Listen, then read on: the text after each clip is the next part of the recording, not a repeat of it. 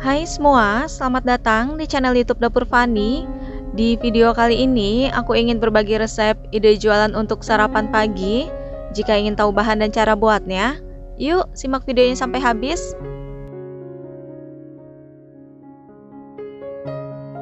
Langkah pertama, siapkan 5 lembar daging burger.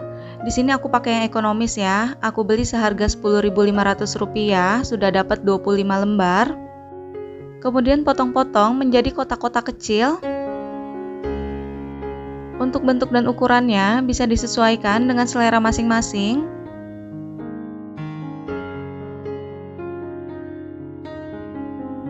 Bahan untuk bumbunya, siapkan 6 siung bawang putih, geprek, kemudian cincang halus,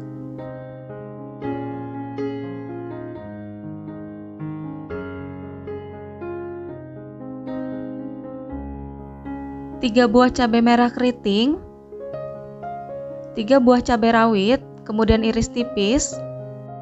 Kalau yang kurang suka pedas, cabainya bisa dikurangin.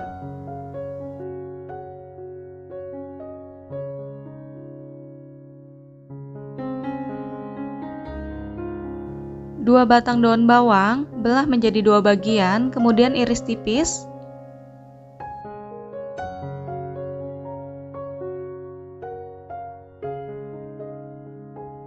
Setelah selesai, bumbunya bisa disisihkan terlebih dahulu. Selanjutnya siapkan 500 gram nasi putih. Nasi putihnya sudah aku dinginkan selama semalaman. Panaskan wajan, lalu masukkan 2 sendok makan margarin, bisa diganti dengan butter, lalu lelehkan. Kemudian bisa dimasukkan daging burger yang sudah dipotong-potong. Lalu masak sampai daging burgernya matang dan agak garing.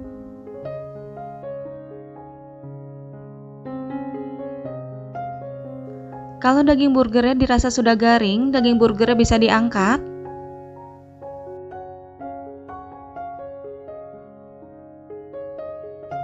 Masih di wajan yang sama, masukkan bawang putih yang sudah dicincang, kemudian tumis sampai bawang putihnya berubah warna menjadi kecoklatan.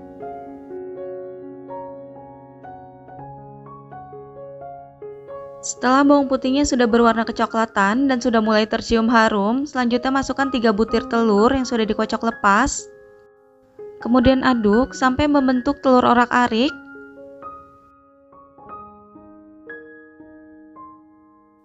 Kalau telurnya sudah ngeset seperti ini dan sudah membentuk telur orak-arik, selanjutnya bisa dimasukkan cabai yang sudah dipotong-potong. Kemudian masak sebentar sampai cabainya sedikit agak layu.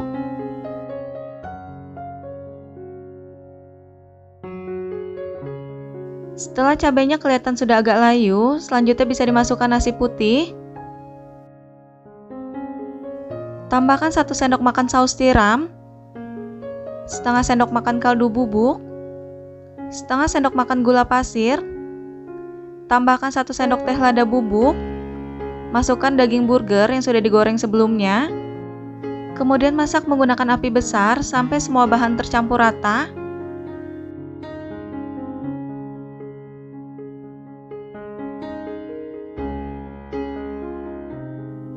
Kalau nasinya sudah mulai tercampur rata, selanjutnya bisa dimasukkan daun bawang yang sudah diiris tipis, kemudian masak kembali sampai daun bawangnya sedikit agak layu.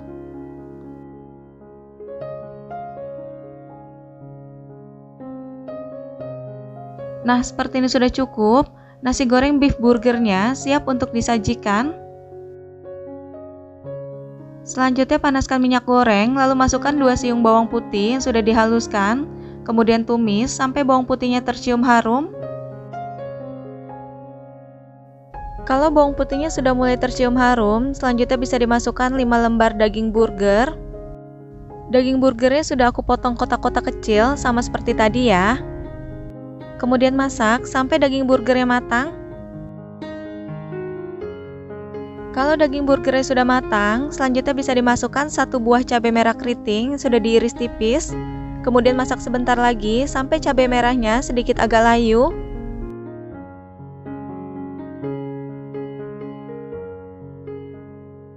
Nah, seperti ini sudah cukup. Selanjutnya bisa ditambahkan 200 ml air. Lalu masak kembali sampai airnya mendidih.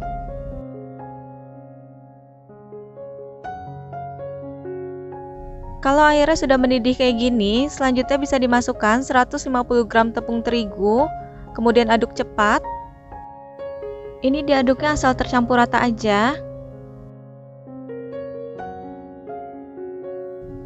Tambahkan setengah sendok teh kaldu bubuk, seperempat sendok teh garam, seperempat sendok teh gula pasir, setengah sendok teh lada bubuk, kemudian aduk sampai semua bahan tercampur rata.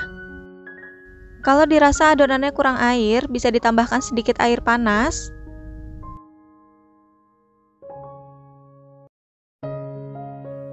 Nah, seperti ini sudah cukup. Adonannya siap untuk dibentuk. Selanjutnya bisa diambil sekitar 10 gram adonan, kemudian bulatkan. Ini ngebulatinnya random aja ya, nggak usah terlalu rapi. Lakukan hal yang sama sampai adonannya habis.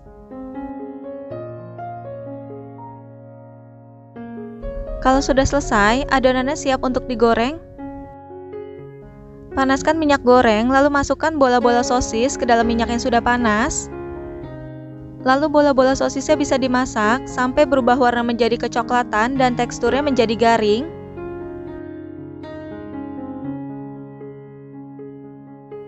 Nah, kalau sudah kecoklatan seperti ini, bola-bola sosisnya bisa diangkat dan ditiriskan minyaknya. Siapkan kardus nasi ukuran M yang sudah dialasi dengan daun pisang.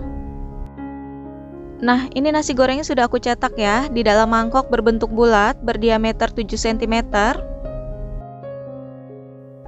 Tambahkan satu lembar daun selada, satu buah hiasan telur, ini opsional aja. Tambahkan satu buah sosis yang sudah dipotong menjadi dua bagian. Sosisnya sudah aku grill sebentar. Tambahkan sebanyak 5 buah bola-bola sosis. Untuk banyaknya, ini bisa disesuaikan dengan harga jual. Tambahkan satu saset saus sambal. Nah, ini sudah selesai. Untuk perkiraan modal dan estimasi harga jual, sudah aku tulis lengkap di bagian kolom deskripsi. Semoga video ini bermanfaat. Jangan lupa like dan subscribe channel YouTube Dapur Fani. Sampai jumpa di next video. Terima kasih.